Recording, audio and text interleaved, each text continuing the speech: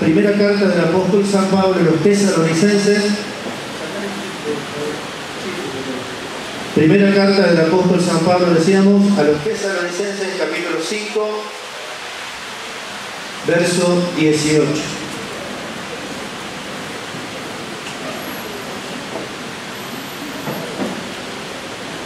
Mandamos a restaurar la mesa esa hermosa que tenemos para la mesa del Señor, para la Santa Cena, y no lo pudieron terminar en esta semana, así que si Dios lo permite, ya vamos a tener la mesa nueva, restaurada la próxima semana y poder compartir la mesa del Señor, que nosotros lo recordamos todos los domingos, o sea, hay lugares donde lo hacen una vez por mes, otros lo hacen una vez al año, otros lo hacen cada 15 o 20 días. Nosotros decidimos hacer memoria de la gran obra que Cristo hizo en beneficio de nosotros, siguiendo, conociendo la enseñanza de nuestro amado Pastor Juan que nos enseñó todos los domingos. Yo antes de conocerlo el Pastor Juan también me enseñaba de que, bueno, donde yo me congregaba se hacía una vez por mes y como ellos lo hacían una vez por mes, yo también hacía lo mismo sin entender bien por qué. Y muchas veces pasa que se hacen muchas cosas porque nos dijeron sin entender bien por qué.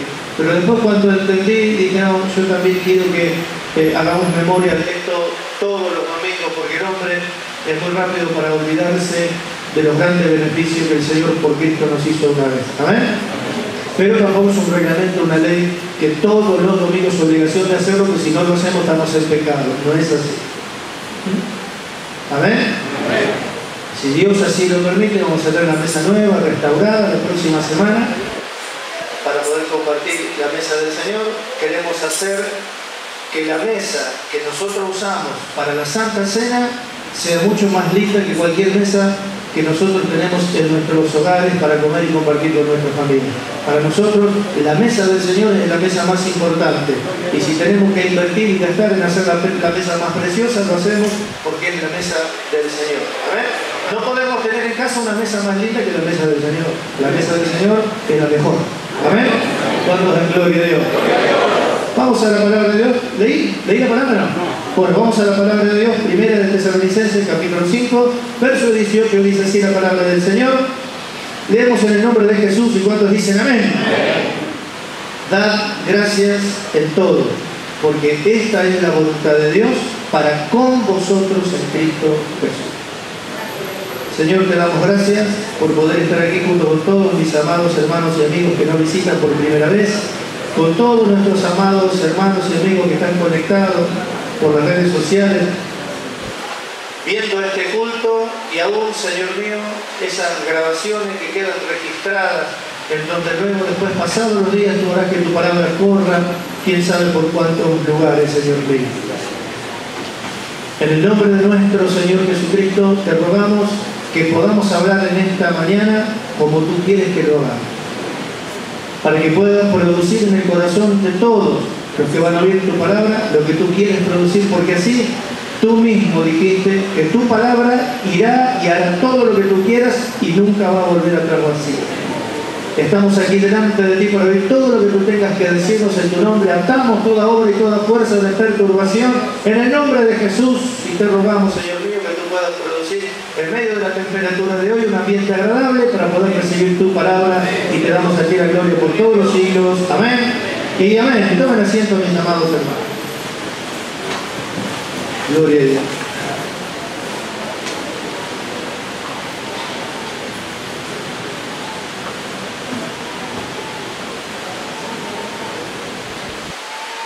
Así estábamos viendo algo que tiene que ver con nuestra responsabilidad. Estuvimos viendo ese pasaje en Reyes en donde vimos que el pueblo de Israel estaba tremendamente sitiado por el ejército sirio y que el hambre en la ciudad de Jerusalén, en la ciudad de Samaria, perdón, había llegado a ser tan grande que se comían entre ellos. Había llegado a ser tan grande el hambre que se comían entre ellos. Una cabeza de buey se vendía por cantidades de monedas de plata y no todos tenían para comprarla. Se vendía también estiércol de paloma a un precio tremendamente elevado, así que miren la situación en que estaba.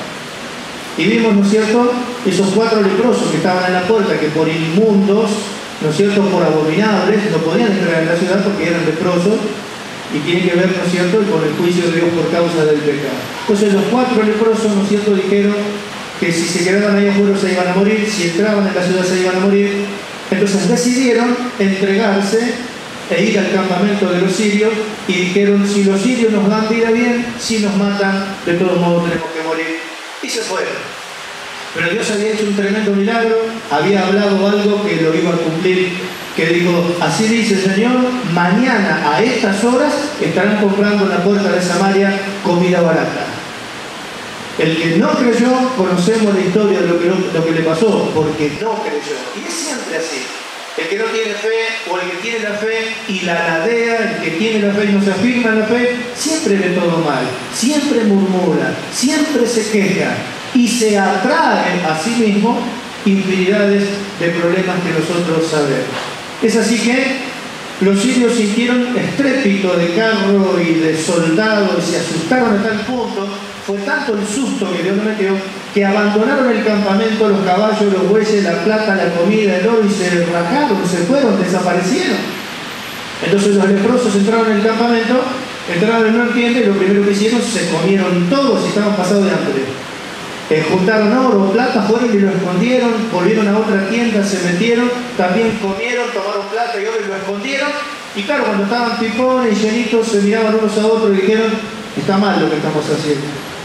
Nuestros hermanos en Samaria se están comiendo entre ellos y nosotros acá estamos llenos de riqueza y llenos de abundancia. No sea que nos agarre el amanecer en nuestra maldad.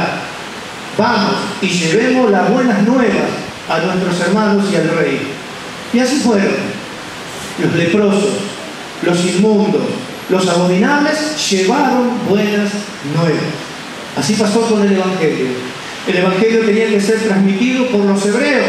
Los hebreos no lo hicieron, pero nosotros, los gentiles, los que éramos para ellos y todavía somos inmundos, abominables, tomamos el Evangelio y los gentiles partiendo de Jerusalén llevaron buenas nuevas a todo el mundo, mira, hasta la Argentina, llegamos acá, conocemos el Evangelio porque alguien nos habló, alguien nos lo transmitió, las buenas nuevas nos las dijeron.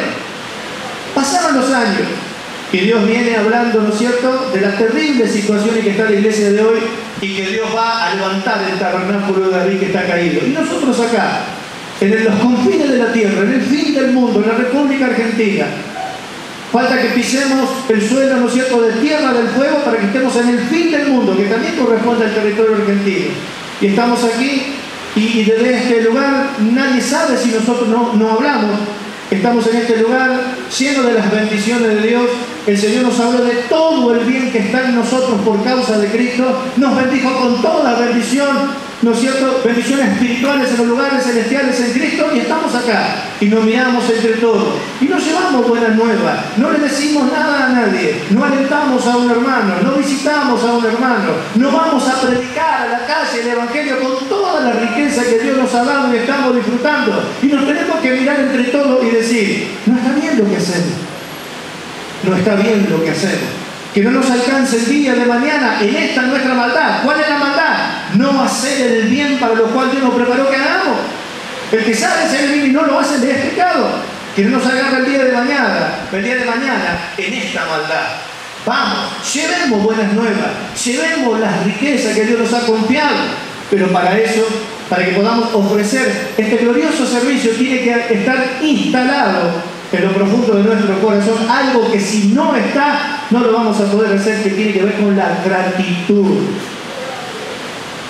Es algo que un sentir, es algo que está dentro del corazón. Si la gratitud no está, está la ingratitud. Y con la ingratitud, la queja, la maledicencia, y porque esto, y porque el otro.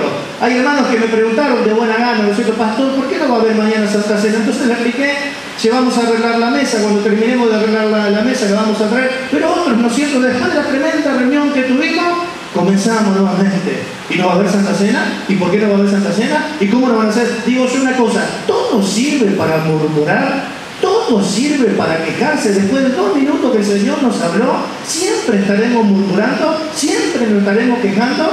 No tenemos el ejemplo de los judíos que para nuestro ejemplo fueron escritas las cosas. No murmuréis como ellos murmuraron, no tienten al Señor como ellos le tentaron, cayeron, perecieron. ¿Por qué? Porque la ingratitud trae maledicencia, la ingratitud trae queja, la ingratitud trae murmuración y eso nos atrae miseria, pobreza. Por el contrario, la gratitud, la gratitud produce, ¿no es cierto?, que nosotros hablemos palabras de bendición, que estemos bendiciendo a todo el mundo, que estemos hablando bien. El Señor dijo, bendecid, no maldigáis. alguien te maldice, sí, bueno, vos no lo maldigas, bendecido como hizo el Señor. La gratitud, ¿no es cierto? La gratitud hace que nosotros hablemos bien. Y cuando nosotros hablamos bien por causa de la gratitud, así también se abre el camino, un camino glorioso y tremendo, hacia la abundancia y un montón de bendiciones. Mire Señor Jesús, tomó un pan. ¿Quién va a dar gracias por un pan? Nadie. Pero el Señor Jesús, que es el dueño del mundo, dio gracias por un pan. ¿Quién da gracias por un pan? Los que se están quejando todo el día de las cosas que les faltan porque no ponen la mirada en las cosas que tienen, van a dar gracias por un pan. Pero Jesús, que es dueño del mundo, dio gracia por un pan. Y no solamente que dio gracia por un pan, dio gracia, alzó los ojos, bendijo, lo partió. ¿Y cuánta abundancia Dios le dio? Que le dio de comer como cinco mil y encima recogieron 12 cestas llenas de los pedazos que sobraron.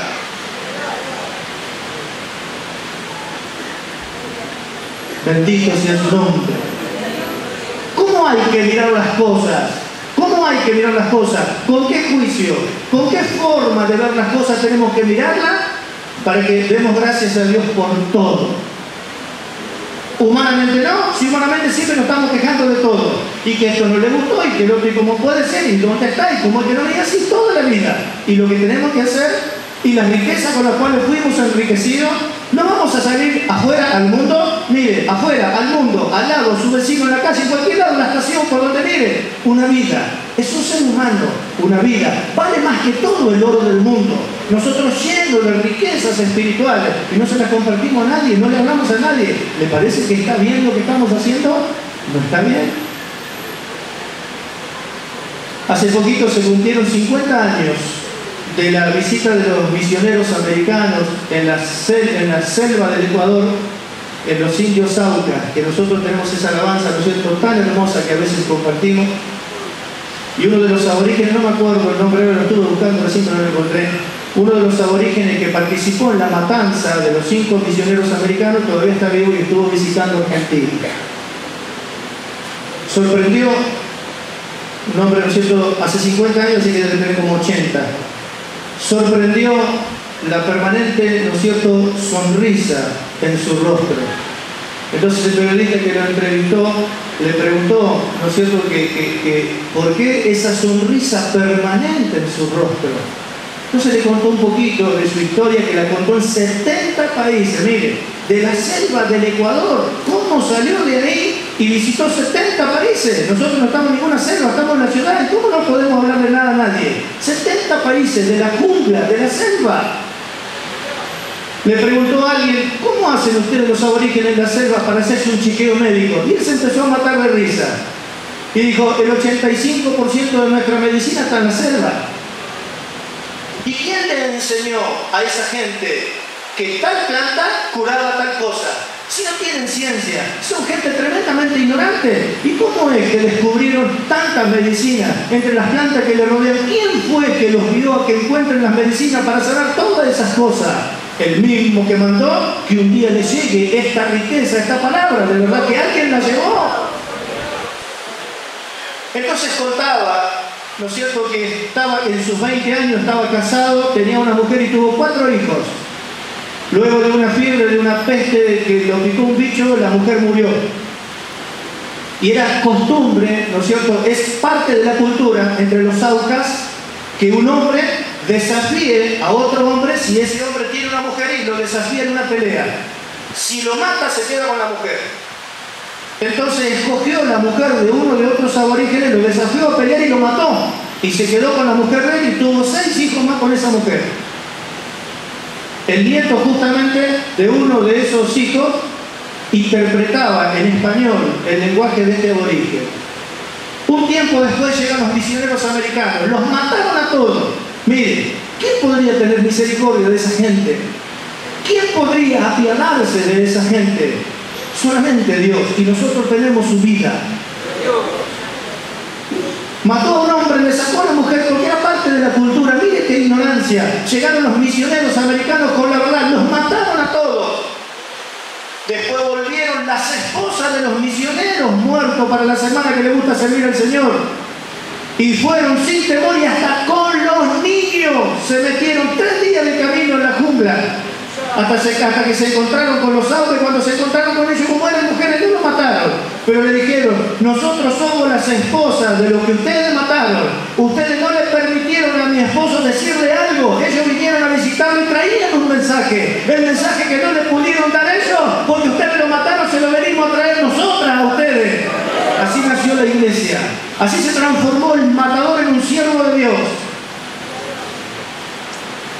que tiene una sonrisa permanente en sus labios, le preguntaron, ¿cómo es que permanentemente tiene esa sonrisa? Y sonriéndose más, le dijo, estoy convencido, tengo gozo en mi corazón, tengo mucha gratitud, porque Dios en Cristo Jesús me ha perdonado todo y me ha dado su vida. Bendito sea su nombre,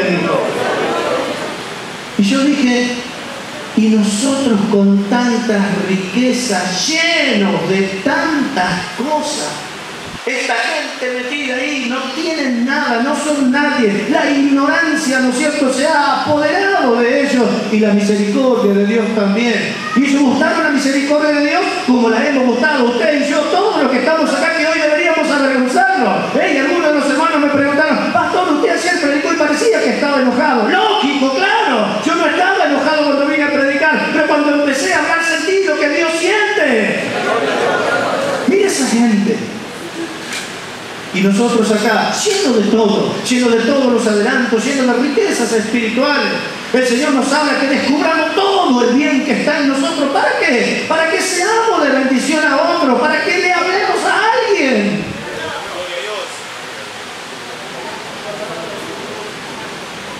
En mis comienzos, cuando no sé si había empezado ya con esta obra, cuando yo empecé con esta obra todavía tenía la fábrica de sillas.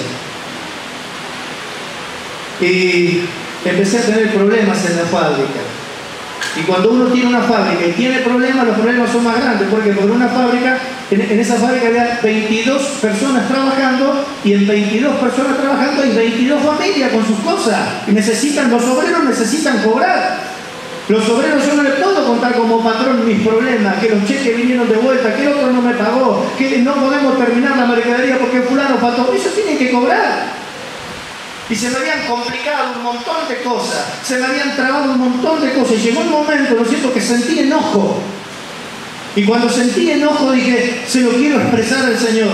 Y fui a un lugar donde yo me recluía a orar, en un segundo piso que tenía allá, ¿no es cierto? Un lugar donde me recluía a orar. Fui y fui corriendo las escaleras porque estaba apurado y quería hablar con Dios y quería expresarle a Dios mi enojo y me arrodillé. Y Dios es testigo delante de Dios en Cristo. Hablo que no miento. Ni bien empecé a orar, me sorprendí. Porque dije, Señor, te doy gracias por esto, gracias por aquello, gracias por tu palabra, gracias por conocerte, gracias por esta comunión que tengo contigo, gracias por aquello, gracias por el otro. Y me sucedió algo tremendo. Comencé a cantar una alabanza que nunca me había pasado. Esa fue mi oración. ¿Por qué? Porque el Espíritu Santo cuando lo tenemos nos ayuda en nuestra debilidad. ¿Qué algo de pedir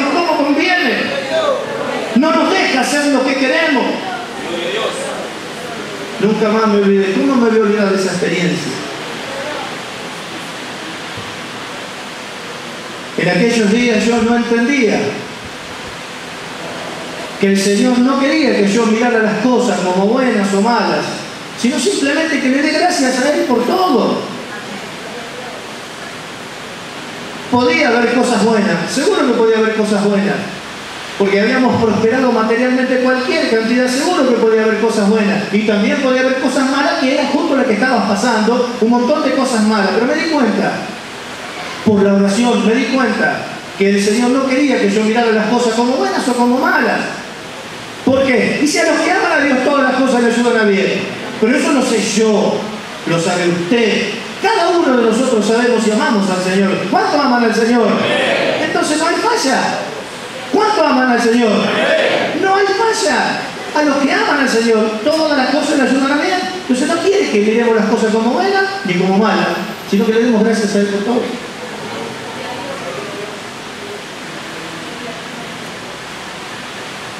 que haya gratitud en nuestro corazón por causa de la fe, por causa de que creímos. Pero esta es una señal maravillosa, tremenda, tremenda, porque cuando hay gratitud en mi corazón, ¿qué otro testeo, qué otro examen tengo que hacer de mí mismo para ver si es que estoy en la fe? Si hay gratitud en mi corazón, es la más gloriosa señal de que lo que estoy viviendo en la carne lo estoy viviendo en la fe del Hijo de Dios. Porque si yo no estaría viviendo en la fe del Hijo de Dios, no habría gratitud en mi corazón, sino que por causa de la carne, porque no natural es malo, habría ingratitud que se expresaría en la maledicencia. Pero cuando hay gratitud en mi corazón, y ya no miro las cosas como buenas ni como malas, sino que doy gracias a Dios por todo, estoy examinándome a mí mismo que estoy viviendo en la fe. ¿Por qué? Porque lo contrario se hacían los hebreos, ¿no es cierto? Que no tenían fe en su corazón. Entonces, milagro tras milagro, maravilla tras maravilla, pero no había caso. No había caso los tipos, abrían la boca y murmuraban, abrían la boca y se quejaban, abrían la boca y esto estaba mal, y abrían la boca y todo estaba mal. Hablaron mal de Moisés, hablaron mal del tabernáculo, hablaron mal del desierto, hablaron mal del maná, cuando dice la escritura, trigo de los cielos le dio Dios a los hombres, pan de nobles comió el hombre, pero a ellos hablaron mal del maná, hablaban mal de todas las cosas. ¿Por qué? Porque no tenían fe. Entonces, señal de que es cuando no hay fe, que la ingratitud reina en el corazón y de ahí la maledicencia. ¿Cómo terminaron? Murieron postrados todos en el desierto por su ingratitud, por su maldad, por su ausencia de fe. Pero si hay gratitud en mi corazón, es porque hay fe, es porque creí. Es la señal más clara, si me examino a mí mismo, que estoy viviendo la fe del Hijo de Dios el hecho de que haya gratitud. No se ponga el sol sobre vuestro enojo, pero cuando hay gratitud siempre nos quejamos de todo y nos acostamos, nos levantamos enojados y no nos damos cuenta. La pobreza tremenda que eso nos va a traer a nosotros mismos. Mira este hombre, salió del medio de la jungla en la selva del Ecuador. Más pobre que ellos no había. Sin embargo, tiene gratitud, rebosa su corazón para obra buena y el Señor lo sacó de la jungla, visitó 72 países y se sentó con príncipe, con reyes, con gente pudiente, con ricos. Mire lo que es.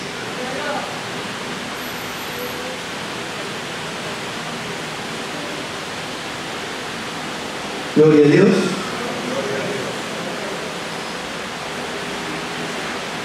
La fe nos hace ver lo que Dios nos ha dado, que no merecemos. Entonces la gratitud es el resultado, es un reconocimiento. Es un aprecio y reconocimiento, porque nos damos cuenta de todas las cosas que Dios nos ha dado que nosotros no merecíamos. La gratitud, ¿no es cierto?, no mira lo que me regaló, sino la actitud que tuvo el que me regaló, su amabilidad, su generosidad, que se acordó de mí, que pensó en mí y que me hizo ese regalo. El regalo tiene un valor incalculable, pero tiene muchísimo más valor el regalador que el regalo. Pero los que no tienen fe no pueden ver las cosas así. No miran todo lo que tienen, miran siempre lo que le falta.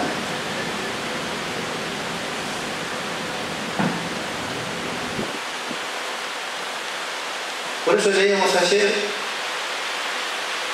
un pasaje muy ilustrador en Proverbios, en el capítulo 28, verso 5, donde dice, los hombres malos no entienden el juicio, pero los que buscan a Dios entienden todas las cosas. Mire, qué glorioso poder comprobar que esto es así. Porque yo me dirigí a orar al Señor y presentar mi queja como malo. Pero cuando empecé a dar gracias a Dios por todo, entendí que Dios no quería que miraran las cosas como buenas ni como malas, sino que simplemente le dé gracias a Dios por todo. Por eso es que lo hablo. Pero los hombres malos de naturaleza nunca entienden los juicios de Dios. Por eso dicen, ¿y por qué esto? ¿Y por qué aquello? ¿Para qué vine? ¿Por qué no me quedé en el mundo? Por lo menos en el mundo, cuando tomaba alcohol o me drogaba, tenía un momento que la pasaba bien. ¿Para qué me trajo Dios acá? Para... No ve nada, como los hebreos.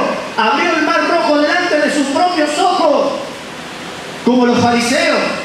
Jesús levantó, ¿no es cierto?, a Lázaro de cuatro días de muerto que quería ya. Lo levantó de cuatro días de muerto que quería. Para después venir y preguntarle, si tú eres el Mesías, ¿qué señal nos muestra? ¿Qué quería más que le mostraran después de lo que le mostró? Levantó un muerto de cuatro días que ya estaba en estado de putrefacción, lo levantó delante de ellos, para después venir a preguntarle, ¿qué señal nos haces para que creamos en ti? Ahí le contestó a la generación mala y adúltera que demanda señal, señal no le será dada, le dijo. Si ya habían visto todo. Así sucede cuando hay incredulidad, ausencia de fe. Por eso nos dice a nosotros, el Señor nos aconseja, miremos que no haya en medio de nosotros ninguno con corazón malo de incredulidad, para nunca ver nada de todo lo que Dios nos ha dado. ¿Qué nos falta? Pablo habla, ¿no es cierto?, en la carta a los colosenses de la potencia de Dios que actuaba poderosamente en él para presentar perfecto en Cristo Jesús en todo hombre. No hay gloria más grande que la vida de Cristo se desarrolla dentro de nuestras vidas cuando éramos nosotros pecadores y ahora Dios nos mira como justos. ¿Qué más necesitamos?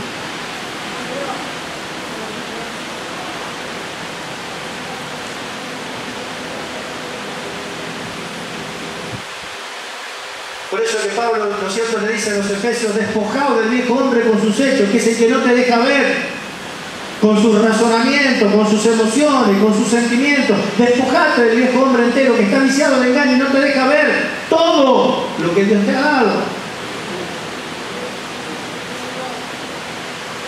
Ayer leíamos también en el libro del profeta Miqueas, en el capítulo 9, en el capítulo 4, perdón, en el verso 8 cuando dice, ¿y tú, torre del rebaño? ¿Exagera? Cuando le dice así, ¿y tú, torre del rebaño? ¿No nos puso el Señor como centinela? ¿No vemos más que los demás? ¿No nos ha abierto los ojos a ver las cosas que otros no ven? ¿No nos puso por atalaya para que le anunciemos a los hombres que viene el fin de Dios y que Cristo viene a buscar a su iglesia y que le anunciemos el Evangelio? ¿A quién le dices tú, torre del rebaño? ¿Al que está al lado? ¿Al que está ahí o me lo dice a mí, a usted, a todos los que estamos acá? ¿A quién de nosotros de los que estamos acá no nos hizo torre del rebaño? Entonces le dice, ahora, ¿por qué gritas tanto? ¿No hay rey en ti? ¿Pereció tu consejero que te, da, que te ha tomado dolor como mujer de parto? Torre del rebaño, ¿qué te pasa? ¿No hay rey en medio de ti? ¿No está Cristo con nosotros? ¿No está el Rey de Reyes y Señor de los Señores? ¿Puede atreverse alguno a decir que el Señor, Rey de Reyes y Señor de los Señores no está con nosotros? Sí que está. ¿Y qué es lo que te pasa? ¿No está tu Rey en medio de ti?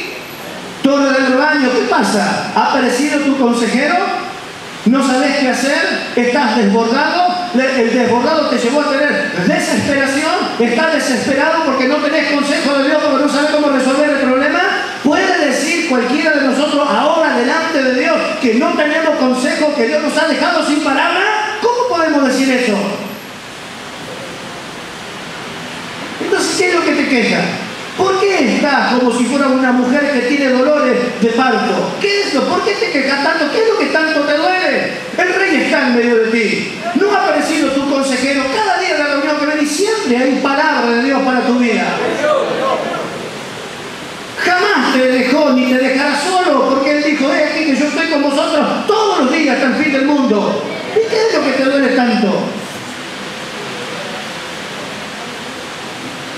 Por eso dijo el Señor, ellos no conocieron mis pensamientos, ni tampoco entendieron mis caminos. No conocieron mis pensamientos ni entendieron mis juicios. ¿Por qué? Porque el hombre malo es así, nunca entiende nada. Pero los que buscan de Dios entienden todas las cosas. ¿Cuánto buscan del Señor? ¿Cuánto entienden lo que hoy el Señor está hablando? Bueno, gloria a Dios. Es una buena señal. Porque de otros dijo, ve y diles, pero no oirán ni entenderán. Sin embargo, gracias al Señor, estamos entendiendo perfectamente bien lo que el Señor está diciendo.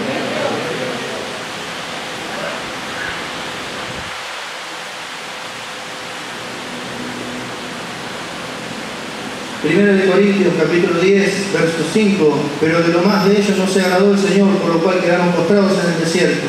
Estas cosas sucedieron como ejemplo, para que no codiciemos cosas malas como ellos codiciaron, ni seamos idólatras, ni murmuremos, ni tentemos al Señor, ni nos quejemos.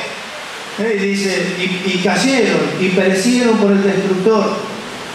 La ingratitud trae maledicencia, murmuración, queja, pura carne, carnicería total. ¿Y eso qué trae? La carnicería que trae. Cayeron postrados. ¿Y de qué bendición podemos hablar si caímos postrados?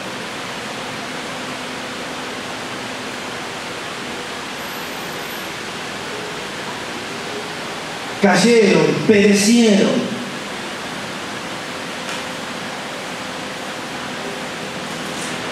Pero Dios le había dado un bienestar tremendo. ¿Qué nación tenía un Dios tan cercano como tenían ellos? ¿Qué nación tenía una columna de fuego que lo seguía de noche? ¿Qué nación tenía una columna de nube que lo cubriera el desierto del sol? ¿Qué nación tenía que le llovía manada del cielo todos los días para que comiesen?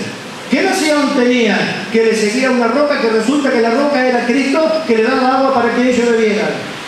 ¿Qué nación tenían como capitán al Dios de los cielos en donde cualquier nación que enfrentaba las naciones huían porque no le podían enfrentar porque Dios peleaba por ellos? ¿Quién? Entonces, ¿por qué se quejaban? ¿Por qué murmuraban? ¿Qué es lo que tenían? Ausencia de fe. Con nosotros no es igual. ¿No está el Señor con nosotros? Sí, gloria a Dios.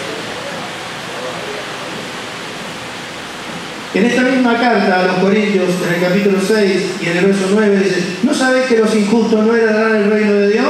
No el rey. Ni los fornicarios, ni los idólatras, ni los adúlteros, ni los afeminados, ni los que se echan con varones, ni los ladrones, ni los avaros, ni los borrachos, ni los maldicientes, ni los estafadores heredarán el reino de Dios. Y esto eras muchos de vosotros. Miren cómo nos mira Dios. Éramos, ya no somos más. ¿Y ahora, ¿y qué?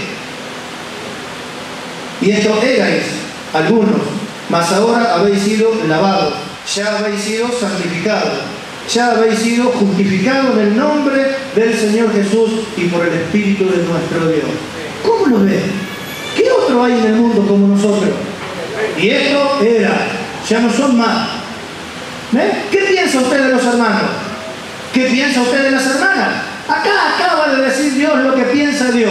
¿Cuán hermosas son tus tiendas? ¿Cuán hermosos son nuestros hermanos y nuestras hermanas? Son los más hermosos de los hijos de los hombres. La gracia se ha derramado en su vida. Eso dice Dios. Pero ahora ya habéis sido lavados, habéis sido comprados, habéis sido justificados por el Espíritu del Señor. Así nos mira Dios. ¿No podemos dar gracias por esto?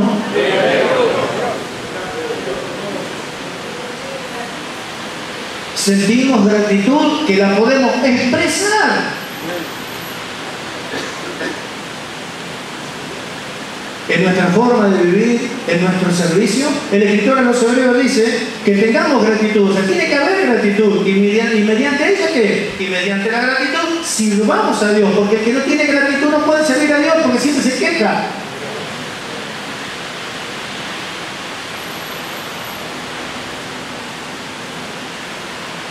Cada vez que nosotros tratamos de vivir por lo que creemos que hemos alcanzado y resistimos la tentación que se origina por medio de la carne, estamos dando gracias a Dios por lo que Él dijo que nosotros somos. Siempre. Siempre. Cada vez, se lo vuelvo a repetir, cada vez que nos esforzamos, no digo que lo hacemos, pero cada vez que nos esforzamos por vivir, por aquello que hemos alcanzado, y resistimos las tentaciones del origen humano, porque el hombre dijo, confesamos que murió, estamos dando muchísimas gracias a Dios por lo que Él nos ha dado y por lo que Él nos ha hecho.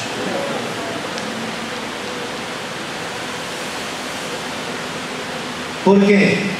Porque centramos nuestra forma de vivir por lo que tenemos y no por lo que nos falta.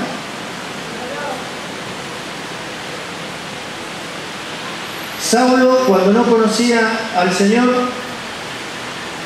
respiraba amenazas y muerte. Escuche, respiraba amenazas y muerte. Si conocía una amenaza, muerte, respiraba amenazas y muerte. ¿Qué inspiraba para respirar amenazas y muerte? Para exhalar amenazas y muerte. ¿Qué había dentro de su corazón?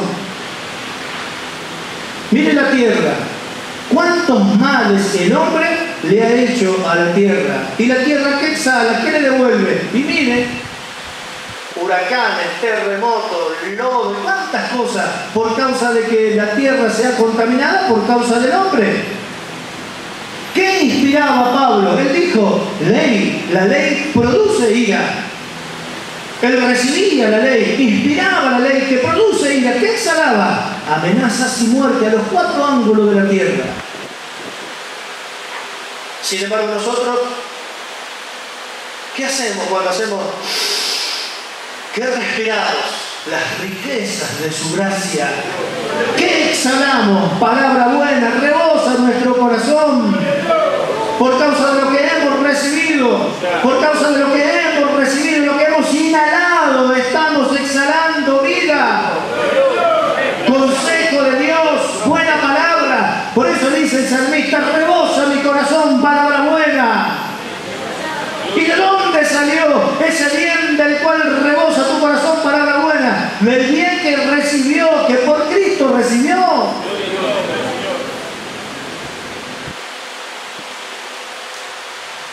Así de esa manera nuestras palabras van a sanar en lugar de herir, van a abrir en lugar de cerrar, van a ensanchar en lugar de estrechar. Porque el que tiene gratitud bendice. El que tiene gratitud bendice significa habla bien. Habla bien de su familia, habla bien de su marido, habla bien de su esposa, habla bien de sus hijos, habla bien de su trabajo, no se queja de lo que le falta, se goza por lo que tiene. Se encuentra con amigos, con vecinos y todos se sorprenden porque lo escuchan. Cuando se refiere a su esposa, no dice la bruja, no. Y los otros miran, habla bien de su esposa, habla bien de su esposo, habla bien de sus hijos,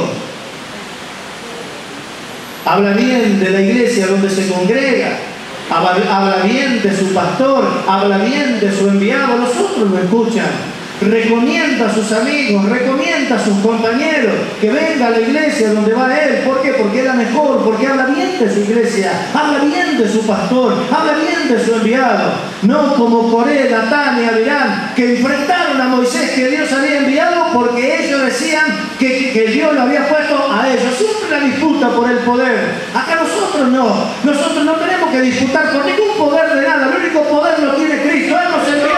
Simplemente somos sus siervos, sus mensajeros. Nada más. Aceptamos al que Dios nos puso. Nada más. No hay carrera política. Bendito sea su nombre. El que tiene gratitud habla bien de su casa, habla bien de su trabajo, habla bien de su familia, habla bien de su iglesia, habla bien de su pastor, habla bien de los ministros. Y eso hace que todo se ensanche, que todo se abra, como pasó con el Señor. Y habiendo tomado pan, dio gracias, elevó los ojos al cielo lo bendijo y lo partió. Y se multiplicó en sus manos, dándole de comer a miles de personas y todavía juntó lo que sobra. No dijo, soy el hijo de Dios, como dicen tantos hoy. Soy un hijo de Dios, lo mejor para mí, porque soy un hijo de Dios. Jesús no dijo así, por un pan. Si fuera como muchos incrédulos, ¿no es cierto? Soy el hijo de Dios, soy el hijo de Dios, el dueño del mundo. Solamente este pan glorioso tengo que Dios me ha dado y que no me puede dar Dios más. Como dijeron los hebreos, dispondrá mesa para nosotros en el desierto, podrá darnos a comer carne. Aún estaba entre sus dientes la carne cuando la ira de Dios se encendió en el campamento y el fuego comenzó a consumirlo. Que si no se para Moisés y levanta la mano no queda ni uno. Por hablar mal, siempre hablando mal. Jesús habló bien de un pan. Un pan y un pan. Escondió este misterio de mucha gente. Y no dijo, ¿por qué escondiste esto de mucha gente? No dijo así. Dijo, te alabo, Padre, Señor del cielo y de la tierra, porque has escondido estas cosas de los sabios y las has revelado a los niños. Dios gracias a Dios por todo. Pero lo más tremendo de todo, que el hombre más rico del mundo, que Bill Gates no le llega ni a los talones, el hombre más rico del mundo, el dueño, no de la tierra, del universo entero, el dueño de los reyes, el rey de los reyes, el general de los ejércitos celestiales que se encuentran por veintenas de millares de millones. Él tomó un pan y dijo gracias Señor, lo bendijo y lo partió.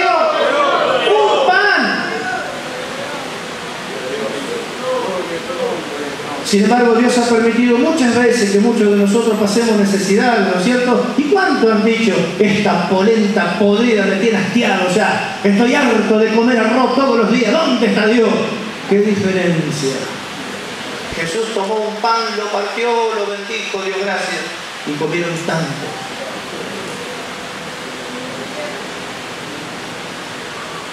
Gloria a Dios.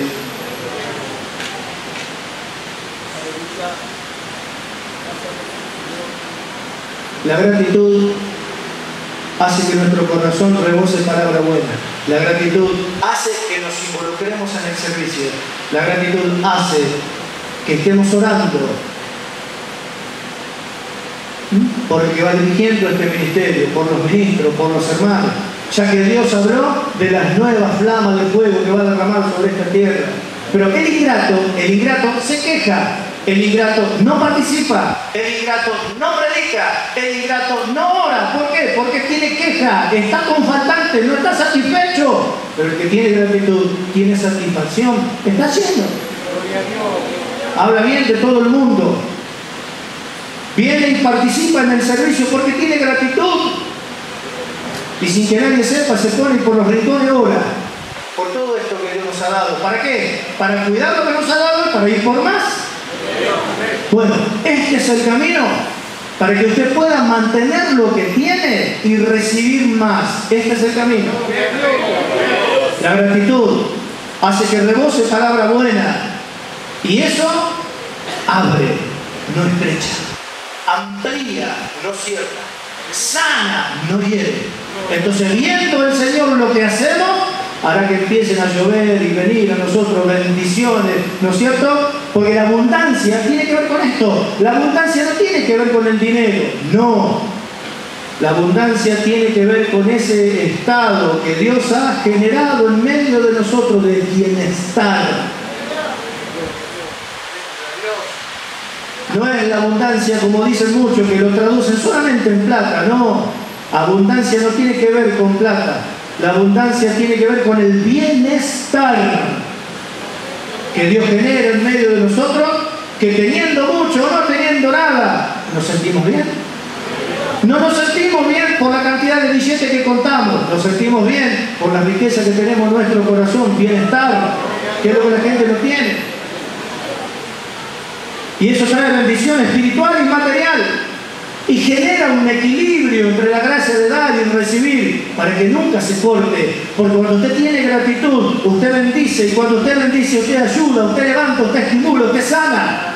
Entonces se genera un equilibrio entre la gracia de dar y recibir. ¿Para qué? Para que usted siga dando y dando cada vez más. Necesita recibir cada vez más. Porque está dando más. Necesita recibir más. Pero los que actúan como laguna, que vienen al culto, escuchan, guardan en sus corazones, no transmiten nada, ¿qué le va a dar el Señor? una laguna, no son un río. El río entrega en el mar todo el agua que recibe y todavía, mire, se rebalsa e inunda las villas que están aledañas a los ríos. Es increíble.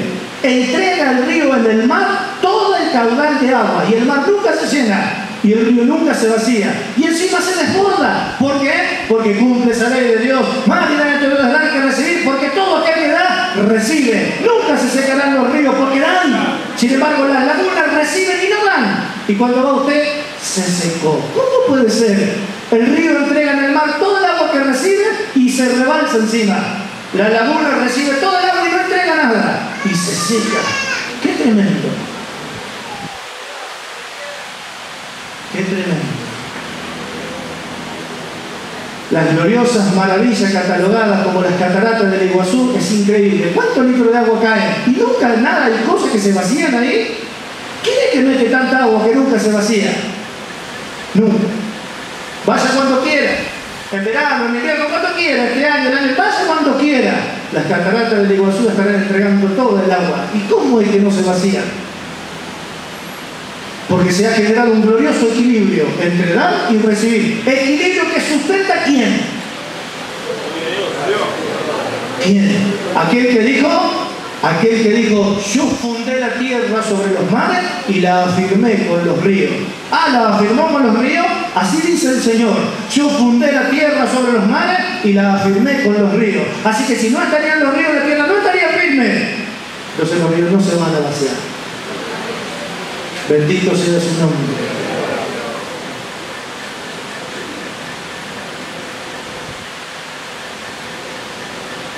Esa será la respuesta de Dios a la gratitud, la abundancia.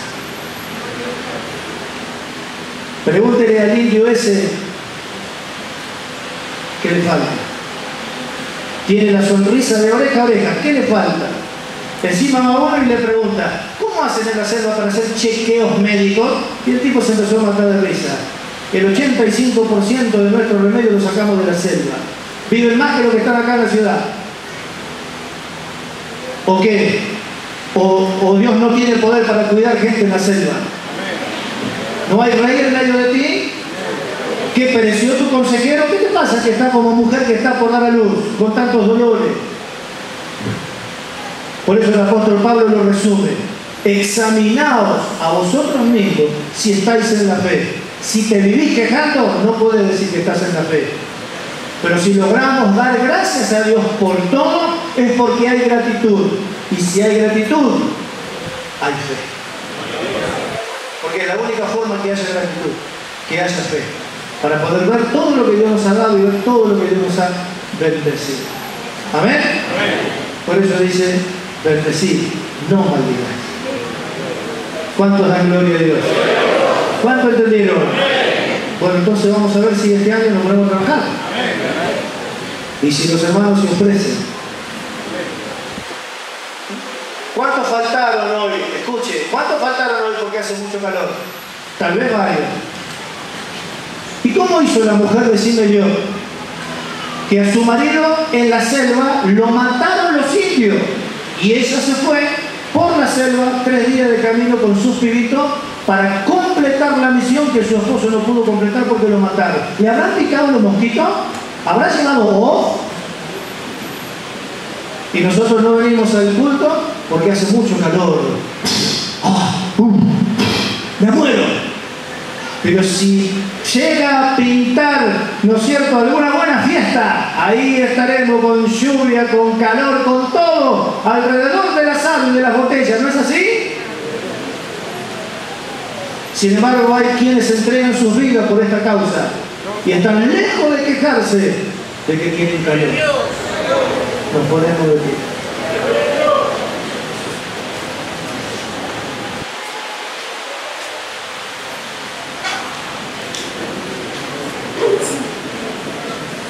Señor, te damos gracias por todo este pueblo que tú has levantado. Tu misericordia y tu paciencia como un manto